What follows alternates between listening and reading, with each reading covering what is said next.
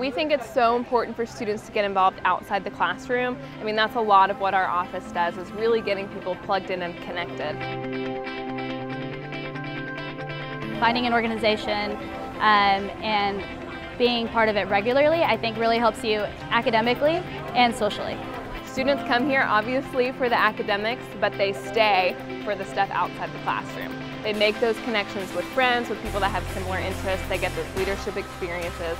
I mean, when you ask somebody after they graduated about their college experience, they're going to talk about um, what they did with their friends, the things that they did in their student organizations, and how that kind of helps them grow as individuals. And that's really what we're trying to do is do that co-curricular involvement and help students um, balance that with their academic experience, enhance what they're doing in the classroom, and kind of get that social, emotional, um, professional, psychological growth.